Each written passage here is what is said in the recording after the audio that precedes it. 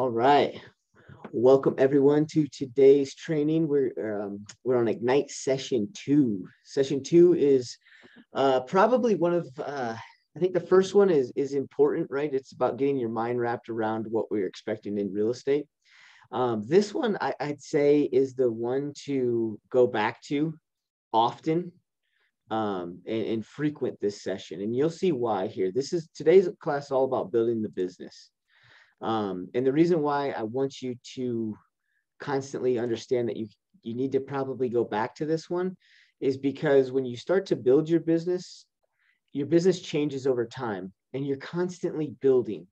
And some of these principles hold true with every step of the of the process, every step of your business that grows and develops. Um, you kind of have to you want to build it based upon some of the things that we're going to go over today. All right. Um, don't know if there's too many of you guys on that was on last time, but right now is when we we're going to go through. And if you're going to constantly come onto this with us, I want you guys to understand that this is a this is a training, this is a class, but this is this is similar to bold, right? As you go throughout these weeks, I want you to practice some of these principles and bring it back to our group. So before we get started uh, into the meat of what we're going to talk about today, anybody on this call that was here or on last week when we went through the, the daily 10-4, we set our action items for the week. Um, can I want people to share right now. I guess I'll stop share real quick. Maria, were you on last week? Yeah. What uh what did you set yourself up for um as far as your action items for last week go? Oh, um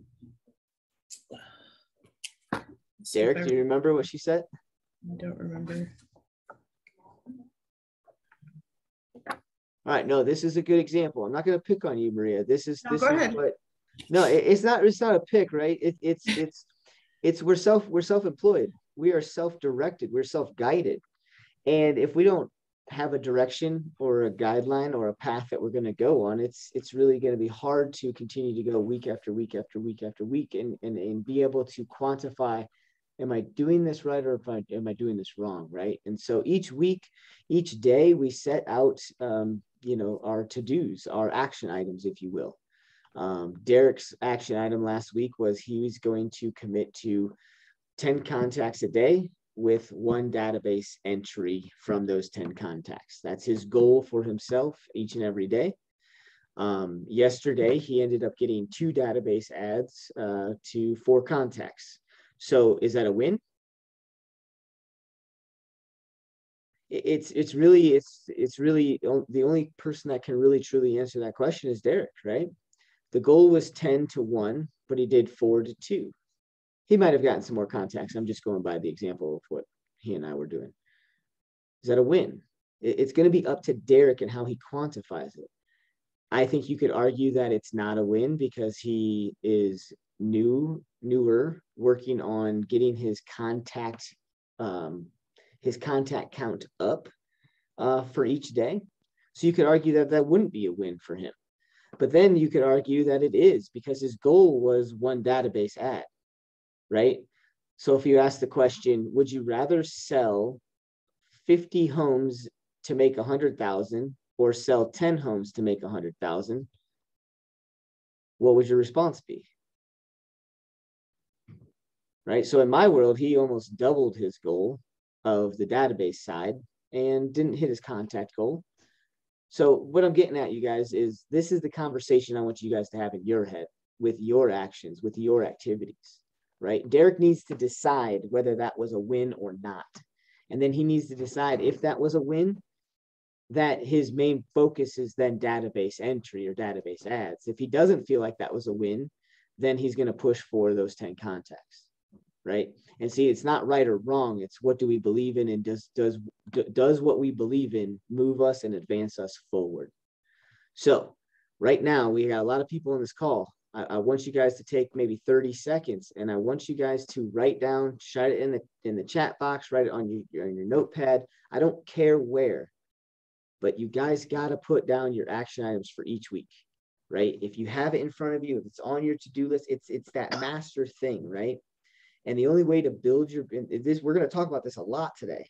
it literally will say somewhere in here um, that the numbers just don't lie, right? But if we're not tracking, we don't really know what our numbers are. We don't really know what we should be tracking. We don't know how or what is success or if they are lying, right? And so have those things down. What is the tool that we use to set forth our action items for the week? Erica Casey, you're a big proponent of this. Well, I don't know if you're a big proponent, but we have gone over yours. What is that thing called? Oh, well, you call it different. I call it my 411 Yeah. actionable. Yeah. So that uh, 411, let's just take a brief couple of seconds to look at that, okay? I don't sh- I don't go over this a ton because the 411 is a very simple concept that we should be using whether or not we're using the actual form 411 or we're just going through our week and setting ourselves up for success throughout our weeks, right? So let's take a look at a 411 here. I bet you yours is going to come up. Yep. It, I don't know why. Yours comes up every single time I use it as an example. Nice. And look, I added in everything from your training on Monday for my expenses. I saw that. I was in here yesterday showing somebody else. That's awesome. It's just so it's there. I think I need to move it to a spreadsheet, but I won't forget about it right here. well, and that's and that's also why I'm so glad that this comes up for me for an example. So this is a 411 and Erica has tweaked it, right? This is her business. Just like just like Derek is defining whether or not that was a success to him or not a success to him, that's his prerogative. Erica, I love this. On her 411, she actually puts her 135 in. So every single time she pulls out her one 411, she sees her year plan. That's what this is. So typically a 411 is defined as basically what is your annual goal and you just list out that goal she lists out the strategies and priorities around how she's going to hit that goal. I love that. Keeping your plan top of mind helps you stay away from shiny objects. I, this is not a this is not a, a dig against Rich's class by any means, but there are people that should not be going to Rich's expired and withdrawn class. Why do I say that, Erica? Because it's not my priority for my business and I have Yeah. to like focus on what I, works for me. Exactly, right? And and Erica, she's been with us for a year or two now, and she's had to go through that, right? A lot of us take a lot of classes that we find to we we we think sound very profound. We think sound very good. But the reality is, is if we're never going to do that action or item, if it's not on our plan, um, why spend the time and waste and wasted effort to do that, right? Erica, what are you going to do today after this class? After after this ignite, right? We end at 11. Rich's class starts at 11. What are you going to do with those hours? Uh, I have 50 sync calls because I didn't do yesterday. I have my DTD2 to finish up. Um, tonight is my 15th pr- day protocol. Ooh, Uh, we, we're going to touch on that for a sec too. That's that's a good one to touch on. Okay. Well, yeah, I have my goals like two closings a month, and I have not hit that for this month. I only have one closing. So now I have a call night tonight where I call for three hours tonight. And then social media post and check out LinkedIn. Is that perfect? Perfect. That's a lot. No, that's okay. That's okay. So back to the 411. I'll touch on some of those topics you just uh, brought up. But you guys see on here, none of this stuff is really talking about how she's going to do it through expireds and FISBOs, right? She she has her budget. You can see she's going to be working on her touch plan, her clients, her sync. Those are her major things, right? And so if she would go to Rich's class, would she learn some things? Yeah.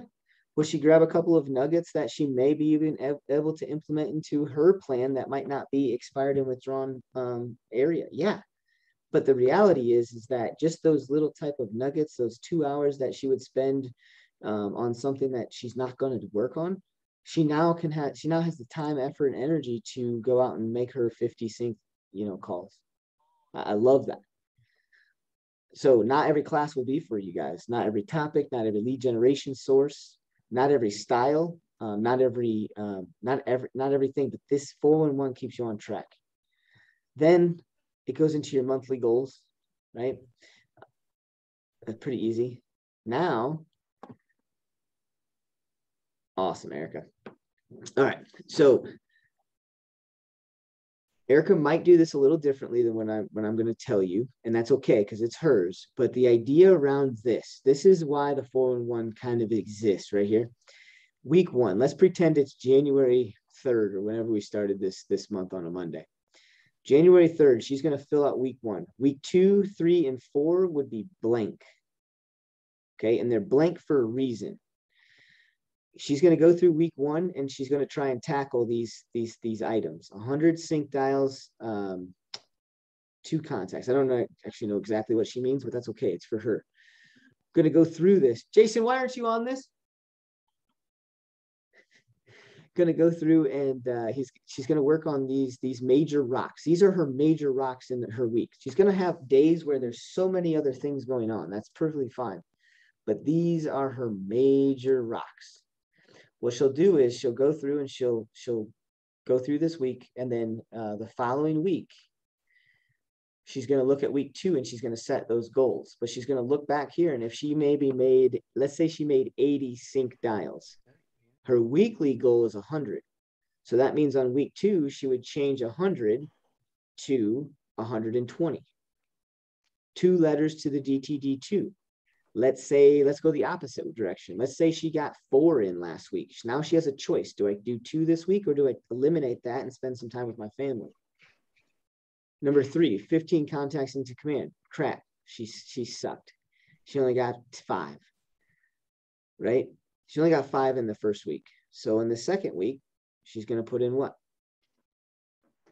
25 so you see how your your your your monthly goal never changes, which means your weekly activities should never really change, but they may depending upon your efforts from week to week.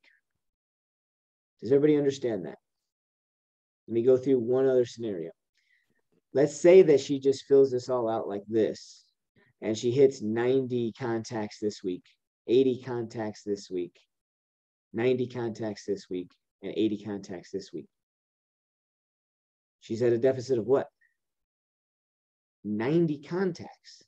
Well, if if in one week she wants to do 100, but after a month she's at a deficit of 90, she almost has cheated her in in one month. She's almost cheated herself out of one whole week. Does that make sense?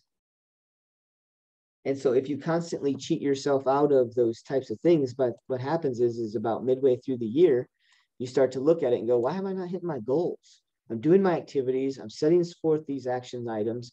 It's because she's not playing catch up. And, and we, a lot of us do that. So I love this, Erica. Great job. Why is it called the 411? Four weeks to each month, four to one, for each month to hit your one annual goal is the idea behind a 411. I basically call the 411 your weekly action item set list, which is which is this guy here. You guys see how this develops and evolves over time for Erica? This isn't part of a 411. She's added that in there to keep herself on track. Putting all of this stuff up here isn't necessarily part of a 411. She does it so that way she has everything she needs to see in one little area. So she's more likely to look at it, more likely to do it, more likely to accomplish it. I appreciate you letting me use that, Erica. Uh, a couple chats here. How do you decide which classes or how many classes you should attend? Has to fit in your overall plan. If you don't plan on doing expired physical, then you should. Yeah, yeah, ex- exactly what Chad said. Right? How do you figure it out? You, you figure it out by setting your plan and sticking to it. Um, here's my biggest example. It's it's it's it's kind of a funny example, if you will, um, but it's it's it's so true. We do it in real estate but when I give you this example, you're going to laugh. So why aren't we laughing at ourselves when we do this? So let's pretend that you open up a restaurant and, uh, you know, your plan is to have basically a, an American bar and grill, wings, burgers, fries, uh, salads, just very Americanized, right? But um, you're, you're, you're a restaurant owner. You go to a convention for restaurant owners. Uh, vendors are there talking about their new fryers and this and that, and all these different accounting systems that you can use to track the sales and this sort of things. There's vendors there that are that are talking about you know um, selling you food at a you know at a discount if you buy this. Anyways, a restaurant seminar. You got the picture? You're at that restaurant seminar and you attend a, a, a speaking or a, a training or something around why Mexican food has a higher margin per dish to sell. And it makes you start to think man i might need to i might need to incorporate some mexican food into my restaurant so i can make a higher margin. If that bar and grill isn't off the ground and launched and successful selling burgers fries and wings how hard is it going to be to implement or even just change to go to mexican dishes You see, that concept for us makes sense when we talk about that. But when we look at our business plan, we constantly are chasing shiny objects. We're constantly going to the Mexican food seminar and learning new things about Mexican food and then wanting to go ahead and put it into our restaurant menu.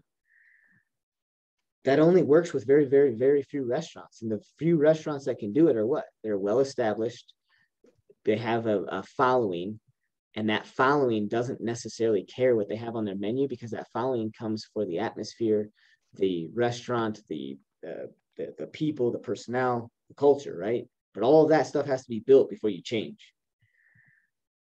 So that's kind of how you'll know. If it's not in your business plan don't take the class. Because if it's not in your business plan are you going to do it? Because if you not in your business plan you're going to do it then it means you're not following your plan you're I'm sure everyone's like super experienced and has their stuff going. I didn't at all last year. And I really squirreled on everything. I would go to every training. I would be like, oh, that's such a good idea. I need to do a video on that. I need to be an expert on that. And then the next two, two days, there would be another training and I would jump to that. And I just kept spinning my wheels because I would get excited about it right at first. And then it would like filter off because it wasn't really and, and probably didn't bring, generate any additional business for me because I wasn't committed to it. Um, but I, I spent a whole year doing it. So learn from me and just like kind of narrow your focus down, I guess was my kickback or take back from it yeah you know our like it kind of also goes back to the you know the examples that we've learned in bold um, i say it on on different training videos.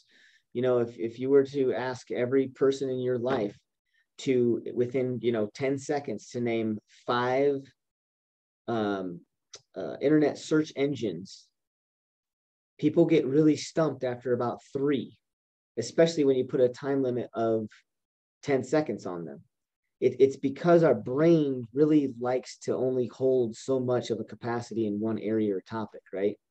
If you are constantly looking at doing 17 sources of lead gen, you're not doing any of them methodically or or um, purposefully, you're only going to see mediocre results, if that.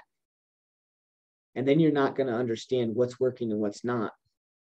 The only time to ever figure out what's working and what's not in real estate is to do it for 90 days and I'm talking 100% consistently.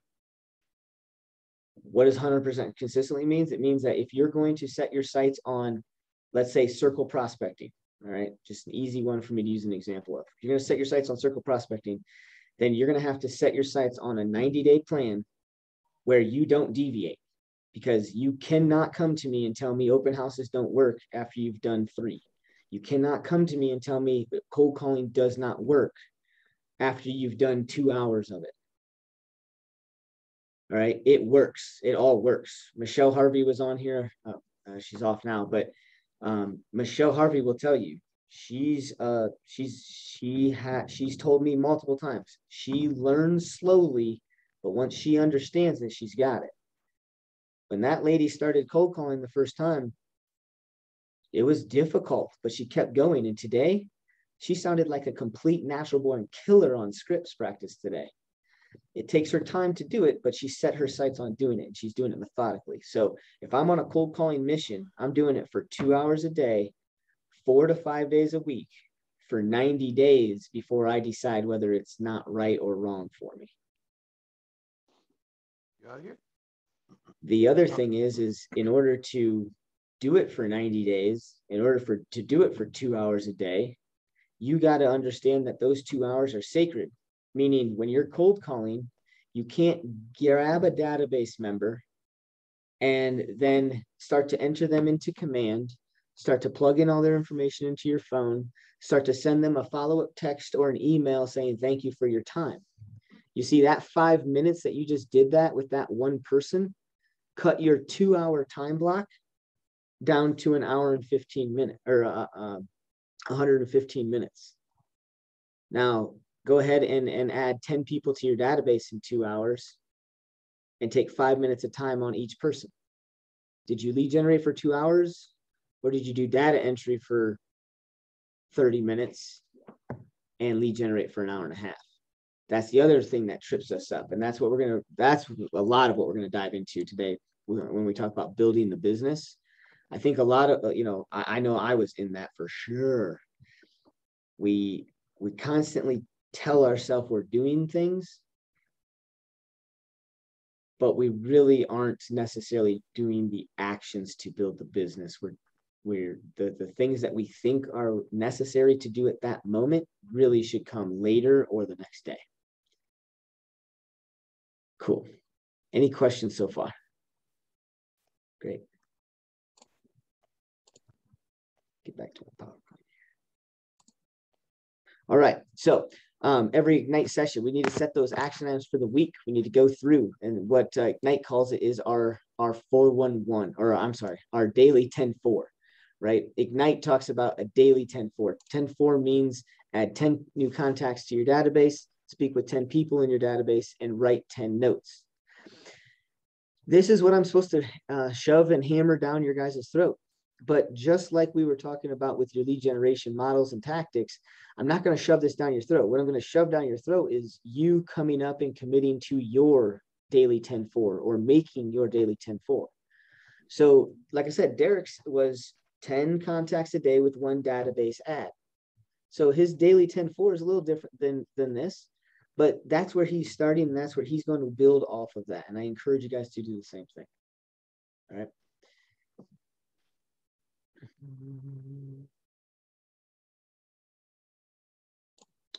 All right, we are talking today about building the business, right? So Ignite session one was all about what is the business? How do I wrap my head around it? Today we're going to talk about building your business. And the only way to build your business effectively is through your database. And, and here's what I mean by effectively, okay? I watch people coming in and out of this real estate game so much. I've kind of decided that you're going to fall on one side of the fence or the other. You're going to you're going to be the person that is perfectly fine with calling the people that you know, love and trust and asking business from those people or you're going to be the person that is really nervous around calling the people you know, love and trust, but you're perfectly fine with talking to strangers or vice versa, right? I personally have no problem talking to my database, my sphere of influence. I strangers were tough for me. Um, so no matter who you are, understand that the concept of, of real estate is building your database. And the number one reason why is because every every other thing that's out there to do to lead generate could is is something that you can't control. And here's what I mean by that. If you build your business off of circle prospecting and cold calling uh, random neighborhoods, and um, the federal government comes out and says, you know what, we're going to add another layer of the do not call list. We're going to add another layer to the do not call list. And from now on, this activity cannot happen. Period. End of story. Doesn't even matter if somebody's on a do not call list or not. Nobody is to dial random numbers at random moments for solicitation. Your whole your whole plan is gone. I don't know about you, but open houses were my big thing for my secondary lead generation source. So my number one was my database, my sphere of influence. My number two was open houses and networking events. Well, like I said, I can control my database. I can't control the outside world. What happened with COVID? If I had a if I had a plan in 2020 to crush open houses, I was derailed end of February, early March. My entire plan's gone. So any type of system or source that you guys can think about could go away tomorrow. That's the scary part about cold lead gen. But I'll tell you, your database, no one can take that from you. I really want that to sink in for a second. We got to focus on that database. You got to focus on your touch programs. Watch the sphere of influence video that I have. Just go ask people where most of their business comes from. If you see an agent that you think is highly successful, go ask them where their business comes from. Guaranteed fact, it's over 60 to 70% of all of their business comes from their database, people they know, love, and trust. Mine runs, mine ran at about 82 to 87% of my closed business every single year was from my sphere of influence. Mark Solomon ran at 92%. Damian Wise, I believe, well, he and I are pretty much on the same team. So he runs at about 87, 90%. Jenny Hart. Jenny Hart has a database called Facebook. That's her database. It's friends of her on her list. She may or may not have ever met them in person, but that's her database. I bet you she does close to 95 to 100% of closings through her database. So, what is a database, right? What, what is a database and what's inside of it? All right, so I want you to just kind of, you know, close your eyes or just visualize this, stare into space, stare at the wall for a second. I want you to visualize a database as as this is this huge bucket that you're holding. All right, it's this big, massive bucket. And within inside of that bucket you're going to have different buckets. So literally think of like a five gallon bucket, enlarge it times 10, and then put five gallon buckets inside of that enlarged bucket. The big, large times 10 bucket is your entire database. And then each five gallon bucket inside of there is your different silos of the database. So one of the biggest buckets inside of your database bucket is your sphere of influence. Then another bucket could be your vendors. Another bucket could be um, leads, leads that aren't part of your sphere of influence. What's another bucket you might have, Erica?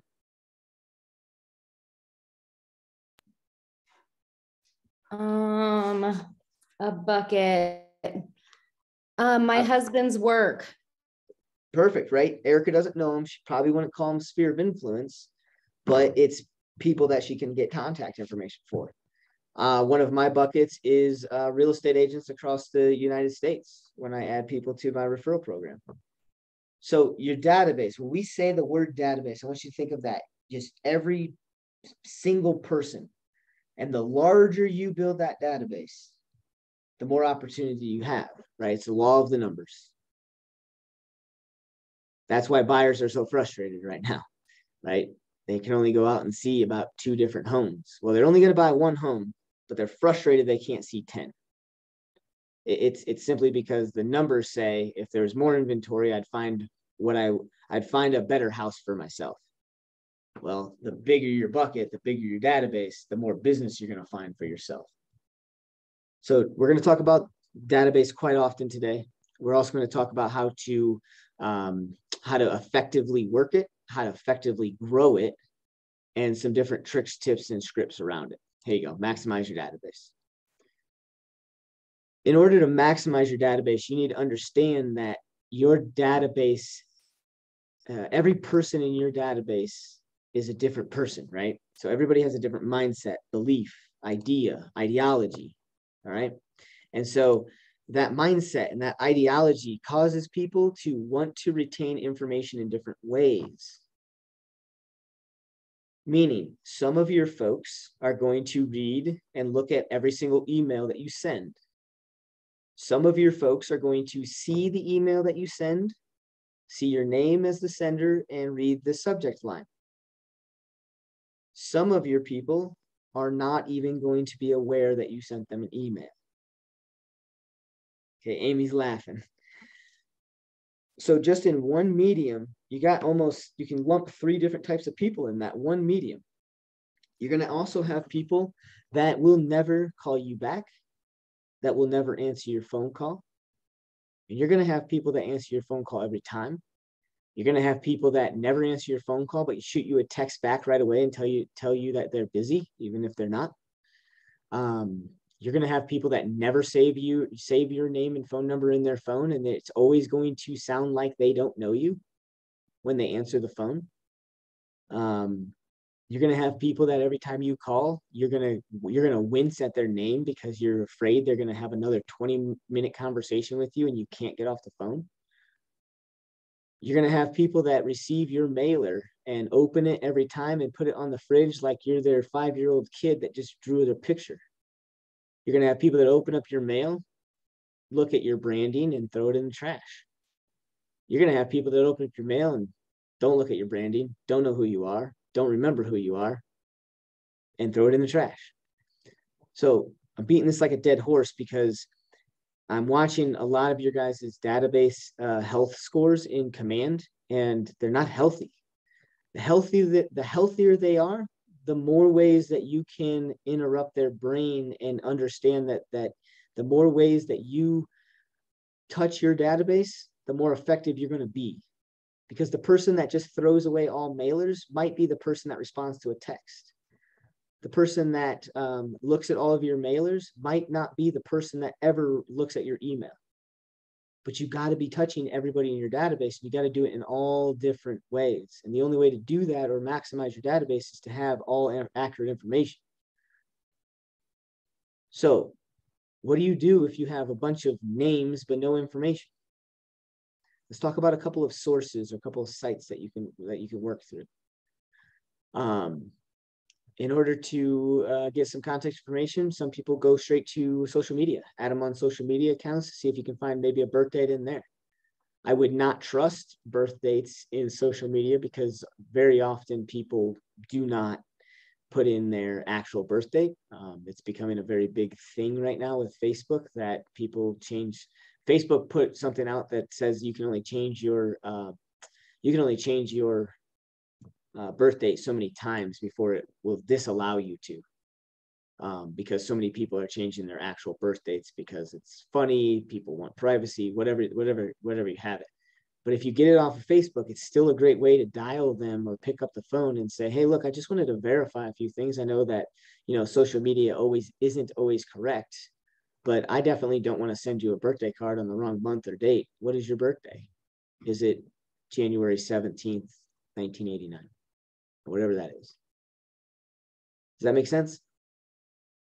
What are some other sources? What, let's say you have a, let's say you're door knocking and you have a name and address, but you want to find a phone number. What are some sources out there? Cool. So the this one is book. one of, what's that? The phone book. Yeah, you can use the phone book for sure. Um, this is one of my favorite ones, uh, truepeoplesearch.com.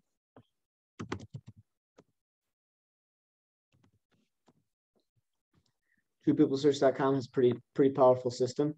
Now, when you type it in, you might find multiple phone numbers, so you're not necessarily going to know which one is which. So pick up the phone, call those numbers until you hit the right person. Um, this is a this is a free one. The other one is called I think BeenVerified. This one you pay for, and most of the things that you pay for will have more accurate information. Um, but this one has this was pretty cool. You can do an email lookup, address lookup, different things like that. If you're on the Longmont Association of Realtors, there's Forewarn. Yeah, yep. Got a bookmark for it right here.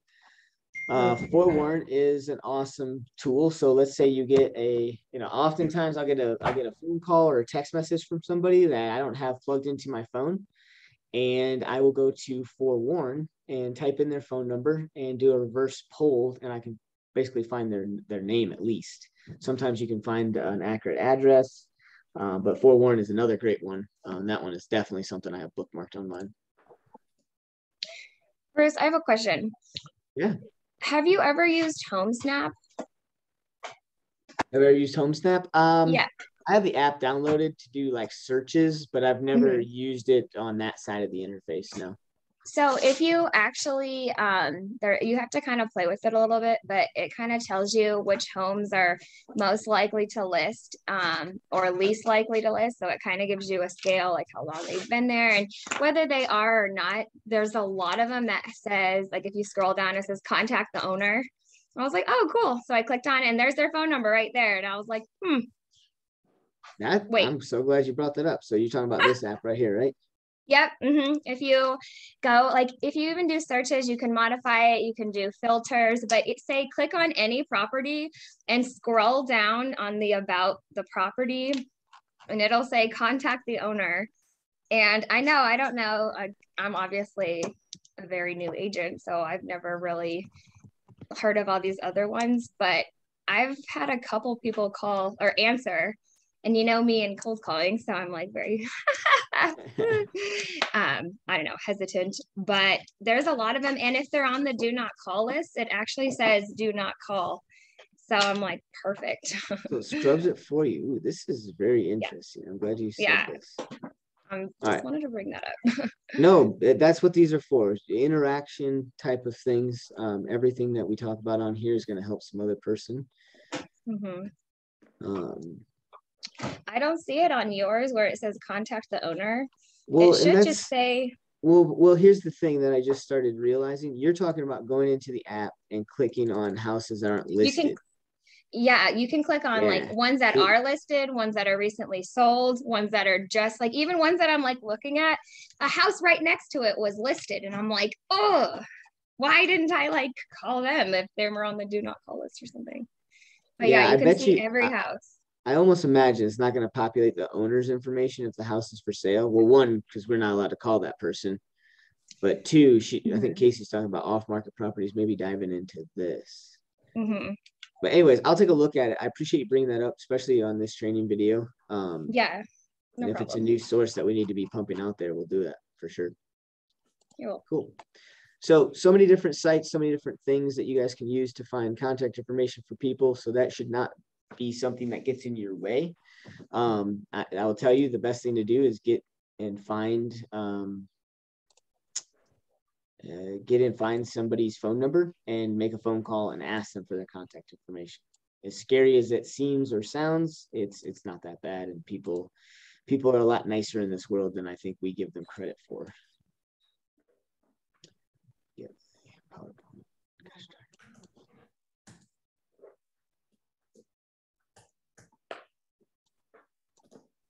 Go.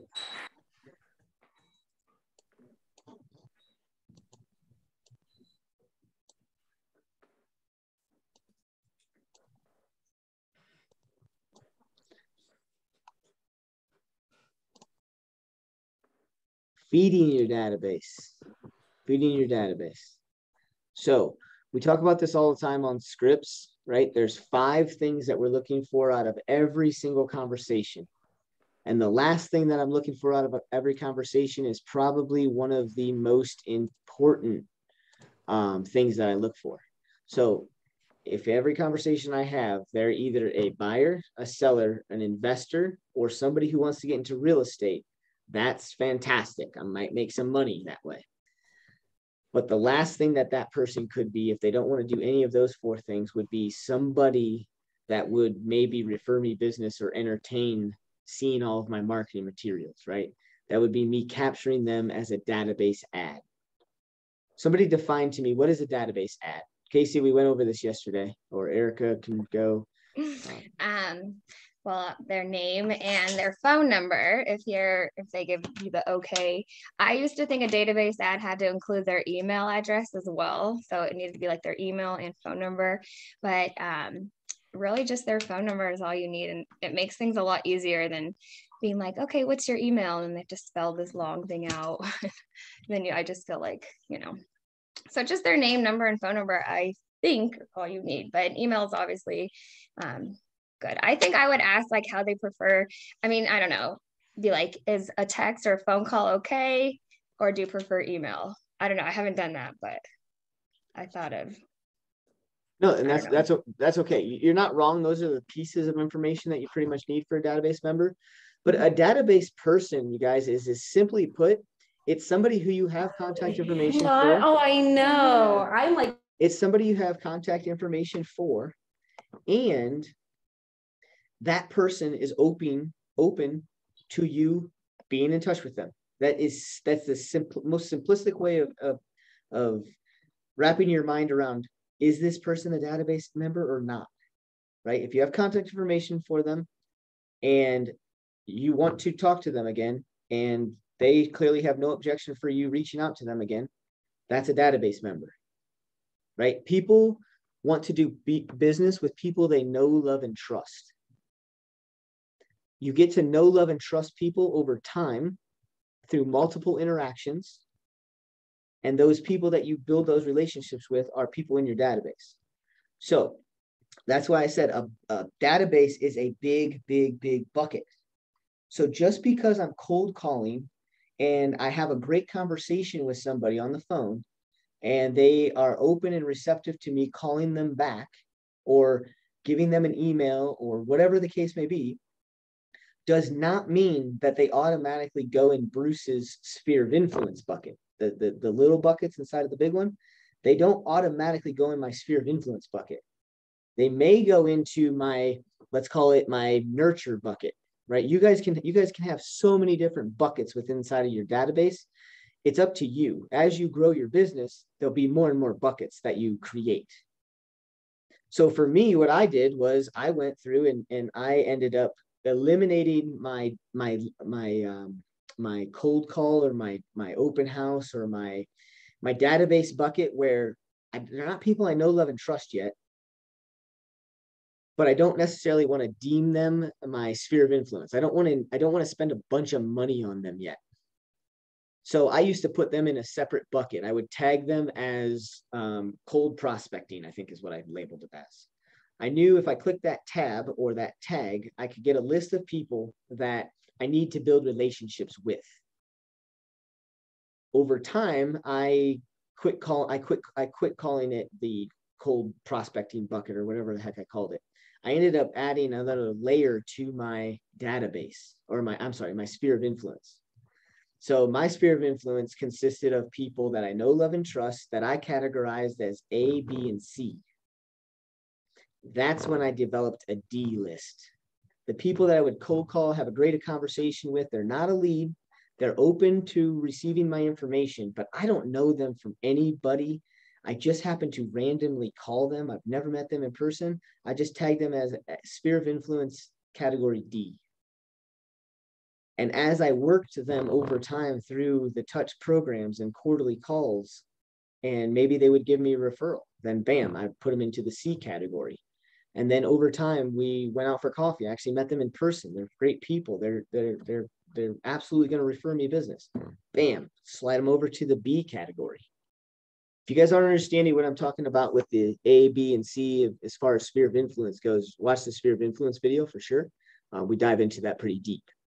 But you have to be feeding your database. If you're not feeding your database, right, your your your pool to your pool of potential people that refer you leads, if that grows, the potential of you, your business growing is, is exponential, which is why it has to be done. You have to grow your database. When you grow your database, the only way I know how to grow your database is to talk to people. And so that's why you'll constantly hear, hear me say, real estate is no different than a seller's house not selling. The number one thing that causes a home not to sell is the price is too high for what it, it, it what for what it is right? That's the only thing. You can take a property i'll put it this way we just had uh, an, an extraordinary event happen in louisville and superior. Homes have burnt to the ground. Could they still sell those plots of land? Absolutely right? 100% that dirt is still worth something. So a seller never a seller doesn't sell if the price for what they're selling it for is not what the consumer feels it's worth it's the clear cut definition so same thing as real in real estate the only reason why people don't get business is because they're not talking and contacting enough people. The more contacts you make, the more people you talk to, the more people you'll run into who will be potential database members. And the larger you grow your database and work them and nurture them, the larger population you have of leads coming to you, which means your, your, your percent chance of getting leads from your database is even greater, right?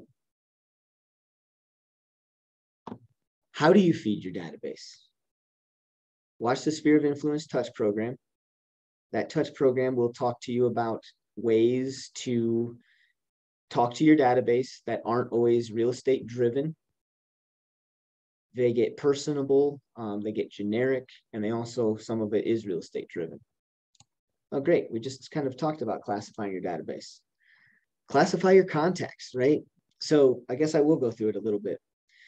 My sphere of influence, when I was in the heat of selling real estate, I had, I think, four or five categories. I had my A plus, my A, B, C, and D groups. My A plus were people I know, loved, and trust that referred me business or did business with me that year.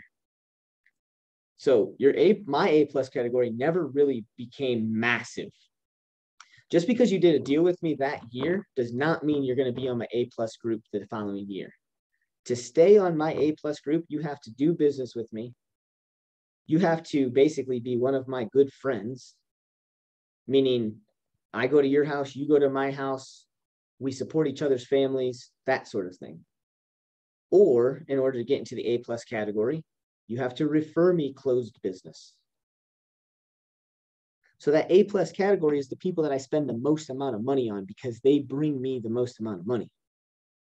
Um, your A plus category could be things that you do, um, you know, for, okay, so for instance, we got Valentine's Day coming up. Maybe everybody in my A plus category, they all receive a free dozen rose, uh, free uh, dozen roses if they want, right? I'll have them sign up for it or whatever.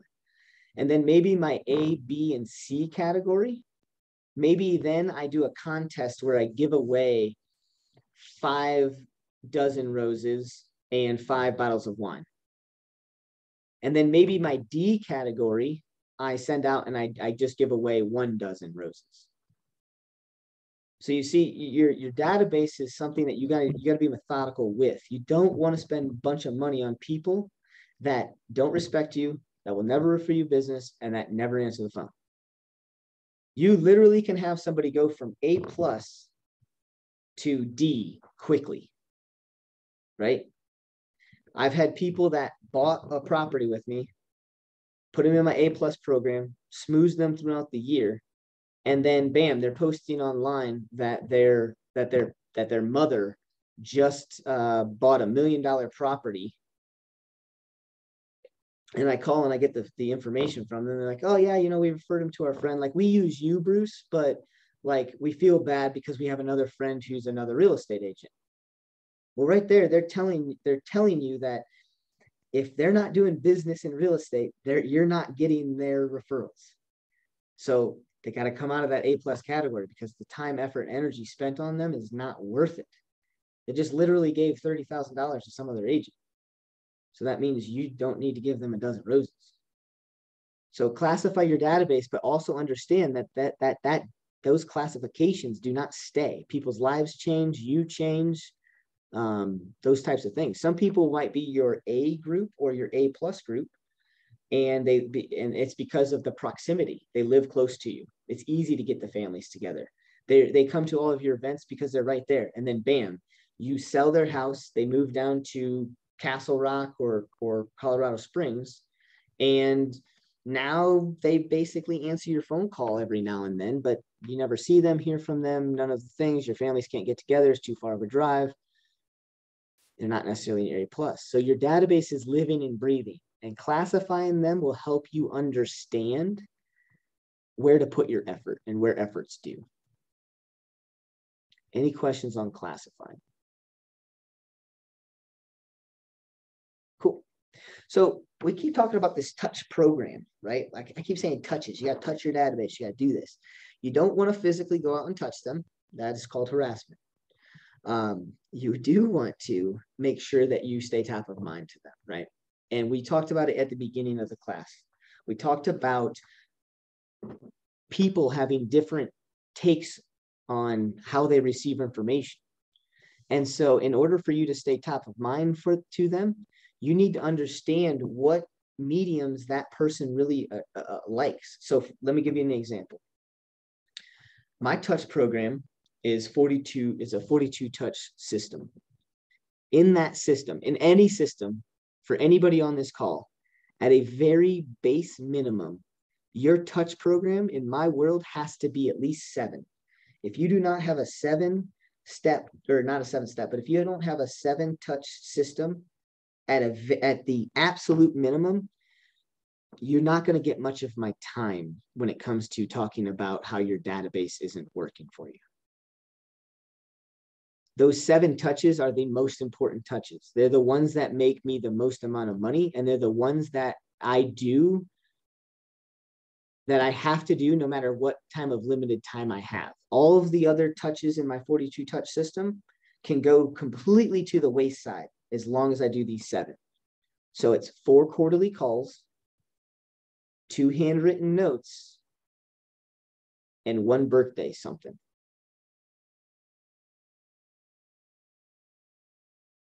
Now, the reason why I'm talking about staying top of mind to people is because you will have people in your database where it your that your command system will say, I need to call Eric Wolf. But in my notes, it says Eric never answers the phone. He's always at work. When he's not at work, he's always busy with the kids never calls me back.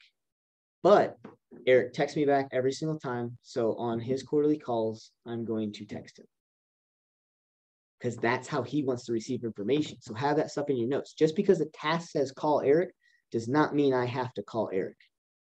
I need to use my intuition, my business sense to understand that he needs to be, in order for me to stay top of mind to him, I need to use, uh, I need to touch him in a manner in which works for him. So I just said those are the top seven things that have to be done no matter what. So that means the other 35 things that I do, I'm not necessarily going to be super intuitive about. Here's what I mean. Let's say I'm going to use Eric as an example again. Let's say Eric, I have it in his notes, like Eric never responds to emails. Doesn't mean I'm going to take him off the emails though. Right? It's the it's the handwritten notes, the cold or the phone calls, and the birthday gift or card or whatever you do for birthdays, those are the most important things. Those are the ones that I will deviate around in order for me to hit Eric the best, if that makes sense. Just because he doesn't open emails doesn't mean he's not going to get them because it's super easy. It doesn't take me any time. It's going to be blasted to everybody. Make sense? I have a question, Bruce. Yeah, please go ahead. So I'm, I'm just wondering it's probably a dumb question, but um, and I'm so you say these handwritten notes, and for our database, how so I have no family really that lives here, and a lot of my friends they live, you know, kind of close by, or they live in Denver or out. So I would need their actual address. So do you just ask them for like their mailing address and like, hey, I just want to send you a note or something? I feel like people are more hesitant to even give you your their address like how do I get them the note? I know that's weird. you just ask. Okay, perfect. Okay. Yeah, I, I had the same so I had the same thoughts, Casey. I had the same okay. limited mindset, same limiting beliefs. Who's gonna give me their address? Um, the the nice part about real estate is we have all these tools to kind of get close to their address. So mm-hmm. what I would be doing is I I would look them up on public records or something and say, hey, look, I am sending out XYZ to my entire database. And um, I noticed that when I came to, you know, you, I didn't necessarily know if I had the correct address for you. This is what I found. Is this correct? Okay. People say, and, and if people say what? Um, yeah, sure. Yeah, that's my address. Go ahead. Um, you know, um, or some people say, no, like, uh, appreciate you giving me a call. And that is my correct address, but um, I don't really want you sending me anything. Okay. Hey, no problem. How do you like to receive information? Oh, you can just shoot me a text or send me an email. No problem. C, right? They're in my C category at that point. I have a Um, question that might be considered dumb also. None of it's um, done. You guys haven't done this. It can't be done. Okay, so my question is on the emails that how do we decide what we put in an email? What is a what's good to put it in? Where do we find it? That kind of thing. Yep. Because the top seven things that we talked about are the most important, your emails don't really matter. it's just for branding. So, what I'm getting at, Carla, is um, what do I put in my email? I put anything in my email that doesn't take me more than five or 10 minutes to do. Okay. So, in my touch program, every single month, I would do a recipe of the month. Oh, Okay. And here's and here's exactly how I do it. So this is a great example for the video. So like I said, five to 10 minutes. Just go into Google. this is awesome. Thank you. Oh yeah. I overthink. It- it- we all do, right? We all want our emails to be profound and, and be that that capture that says, pick up that phone. I need to call Carly I do business with her. There's only 2% of the population ever doing real estate at any given time, which means we can't we can't take time to tailor every single email to everybody. Um, so it's it's simple things. Seasonal recipes for this time. And then um, what I like to kind of do is I go down here and maybe jump into page number two or, or something like that.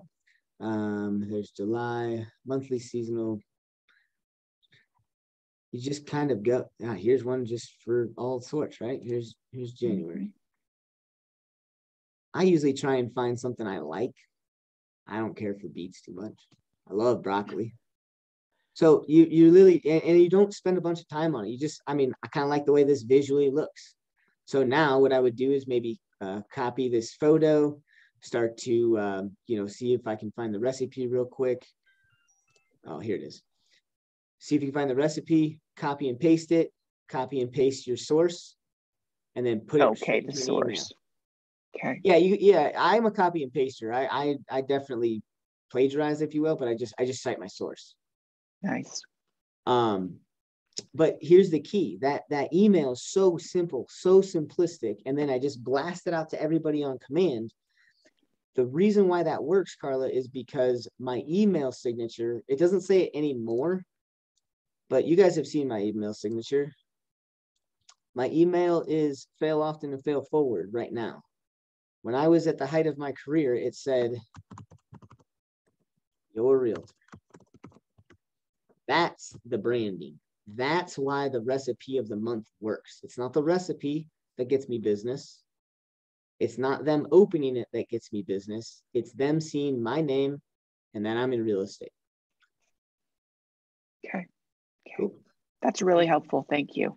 Oh yeah, no, great questions. Great questions. All right, so trying to figure out what campaign is best. I, I will I will tell you that it's been statistically proven that you need to have 33 or more touches. So when I first started in real estate, Gary Keller was definitely on the 33 touch system. Then as time goes, he says, "Look, I'm gonna I, I'll I'm gonna keep my standard for you guys at 33 touches, but I, I think you guys need to start looking at some sort of 50 touch program because all of the number one brands that are in our heads at any given moment. Remember how at the beginning of the class we said, hey, I just challenge people in your life to name five different, um, you know, five different um, internet search engines. It's hard for people to think of more than two or three things on any one given thing. And so by branding yourself that many times causes you to be the number one or number two agent in that person's mind, right? Google, Coca Cola, McDonald's, Lay's, Nike, all of those like brands that are either number one in people's minds or number one on the, the ledger at the end of the quarter, they they touch us more than 50 times a year. But if you were to ask how often you've seen something with McDonald's, you may only guess eh, a handful of times. I see I see it a lot, but it's only a handful of times. But if somebody were to tell you that you actually think about McDonald's more than 50 times a year, you kind of you kind of be like, what? Wait, what? Well, you drive past the Golden Arches, right? You read the newspaper and you see the two for five special. You're watching TV and you see the the juicy Big Mac sitting there or the quarter pounder, right? Whether or not you eat McDonald's or not, you don't call their service department and say, hey, you guys have been touching me a lot this year. Like, can we slow it down a bit? One, they're not going to do that. Two, there's no customer service line for that. But three, you're never going to do that because they touch you in a manner in which is okay to your brain. That's what we need to do in real estate. And that's why most of my marketing stuff has nothing to do with real estate, nothing to do with it. Now, the seven different things that I said here, four of which have real estate. I will talk about real estate on my phone calls with them, and sometimes I won't. Right in January, I am not talking about real estate at all. Do you know why? Hmm.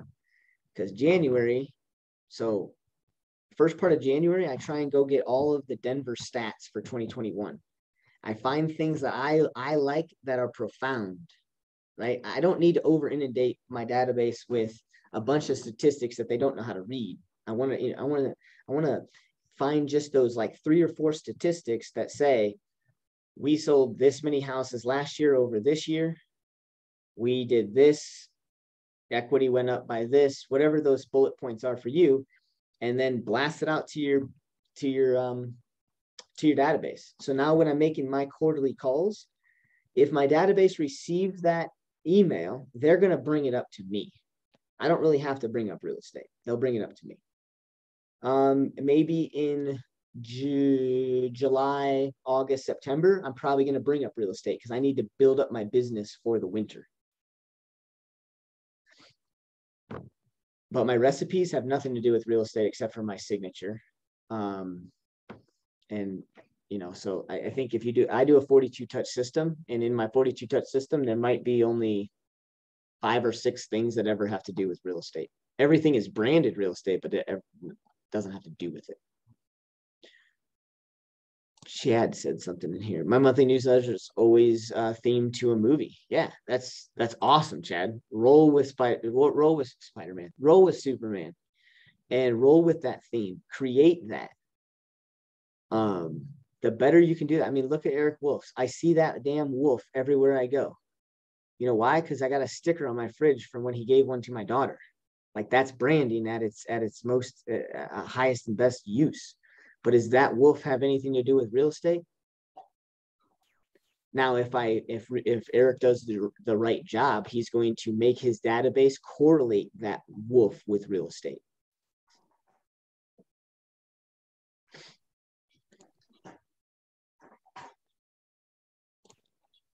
All right, putting it all together. Here's your here's your action item for me. Got to watch that Sphere of Influence video, and you guys got to get a, a touch program set in place. You want to have your database so dialed in that you know exactly what kind of closings you're going to have off of your database if you follow your touch program. The only way to understand what kind of closings you're going to get off of your database is to start working the touch system and then tracking what your metrics are. So we start off in real estate and I and I teach you guys one out of every hundred contacts that you make will turn into a lead. One out of every 10 of those leads will close. So that's how you unfortunately start in real estate. And the reason why that's unfortunate is because that's a lot of people to talk to for one lead. So what I'm basically saying is you better talk to a thousand people before you expect your first closing. That's a that's a hell of a pill to swallow. Now, here's where it gets easier. That's when you first start. If you start by talking to your database and build the smart plans and systems, you start off at a one out of a hundred. But in six months, in three months, you can bust that sucker down to one out of 50 quickly. And that's through this branding, that's through building your business. The more people you put into your pool, the more likelihood you have of people that can refer you business. the more you're touching those people in your database, the more likelihood you're going to return business. Right? The more that you understand the delicate psychological piece of branding and marketing that our brains use, the more you're going to receive business. Right? And what I mean by the psychological piece is it's not 42 times a year you're bombarding them with real estate. It's personal stuff, life stuff, event stuff, then a little bit of real estate. But if you do this methodically and you set these things in place, you can instantly go from one out of 100 to one out of 50. So if one out of 50 causes you to have one lead per 50, then you only need to talk to 500 people for the next deal.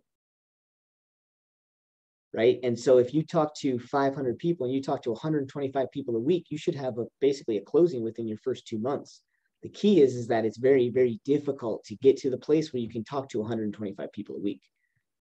So better than try to figure out how to talk to 125 people a week, take some time, make these, make these touch programs, set yourself up for success, and then start to will your way down from one out of 100 to one out of 50 and then it's it says basically if you just follow those seven things that i talked about for one year and you have a database you're gonna you're gonna basically gonna be at a one out of 35 ratio. The more you do this and the more you brand it that's when you get down to the successful piece i can talk to about 17 people to get almost a closing anymore. It's not even like one out of 17 is a lead and then 10 leads to a closing. Um, your numbers get very, very easy the more you do it. The key is is putting up that heavy lifting up front. And nobody wants to do it. Trust me. Putting in my 42 touch smart plan system, I gave up. I beat my head on the table and I ended up paying my assistant to do it for me. Um, Command is the fourth CRM that I've used and have had to recreate a touch system. It's just the law of the beast, but I know it's necessary. So you are using Command successfully now. When you say I am, see, ever since Command came out, I was a, I'm, I'm a coach. So am I using it? Yeah, but I have people that run my 42 touch program for me. So it's only, not necessarily through command. Exactly. Okay, thank you. Yeah, but yours should be because it's right there. Until you make a lot of money, Carla, don't pay for assistance, don't pay for people to do stuff for you. You have the time to do it. I just I, I wanna I wanna coach at a high level and I also need to sell some real estate. So I just don't have time for it.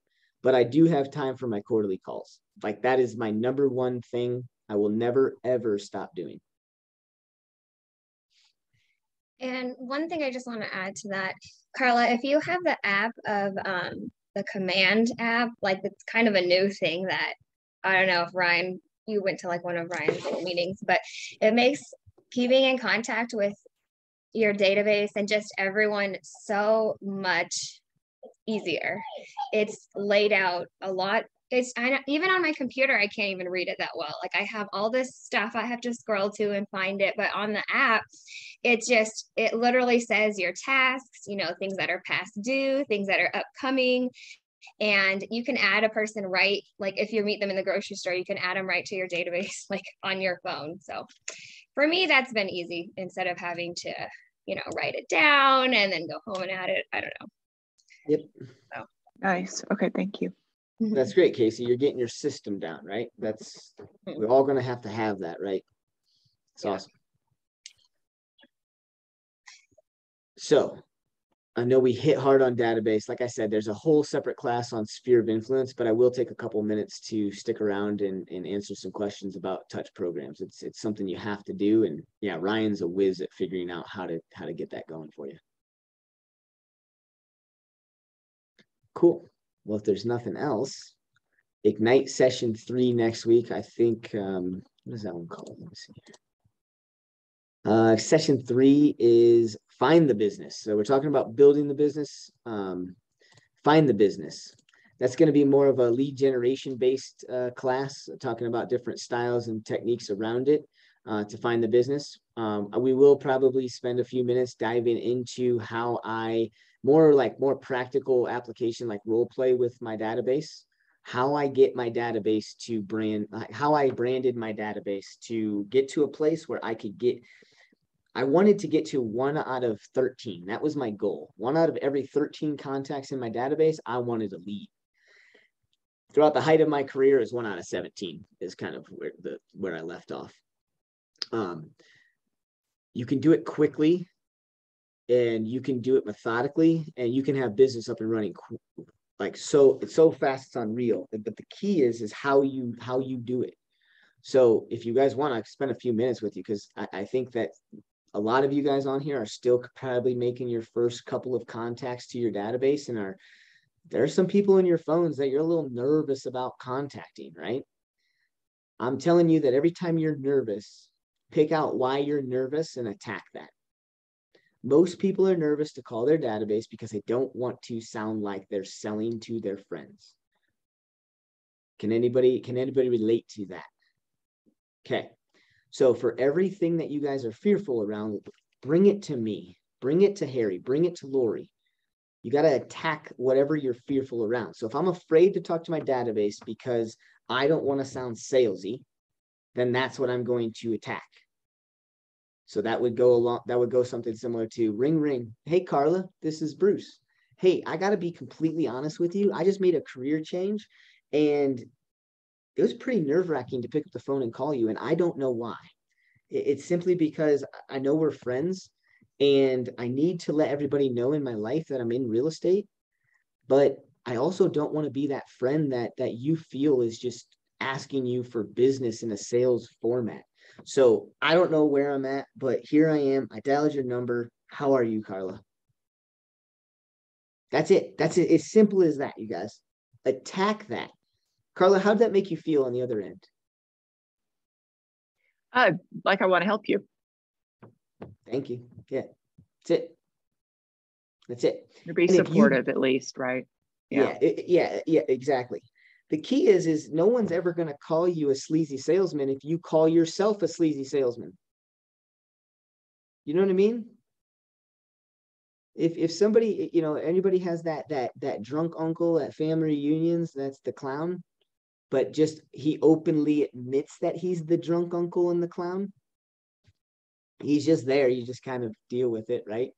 But if he doesn't admit it and always denies on I'm not a drunk, my life is in order, la la la, then your family and you are probably going to talk about him behind his back. But if he owns it, you got nothing to talk about. So just own it. Every fear that you have in this industry, own it. Cold calling. I wish I, I wish somebody would have given me that advice when I was cold calling. Just practice on people. Hey, um, so just started a career in real estate. I'm calling around a new listing that I have. This is the first time I've ever done this. So I appreciate you answering the phone, and I want to ask you if um, you know of anybody looking to buy a house. I'm telling you, people on the other end that are strangers, they won't care, especially if you tell them that you're nervous and why you're nervous everything that you do.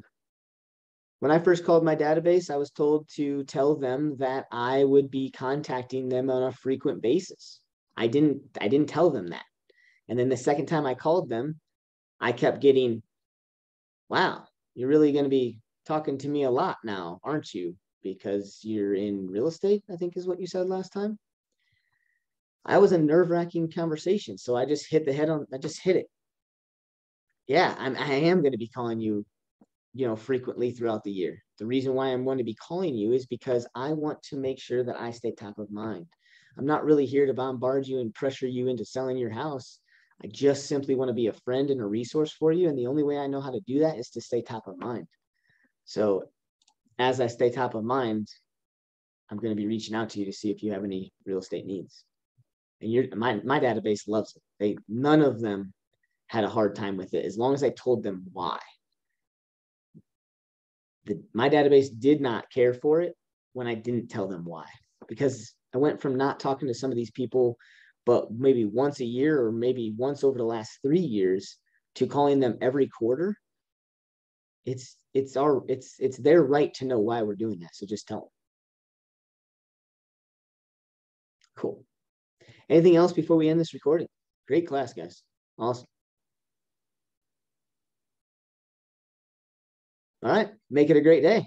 See you guys. Thank you so much.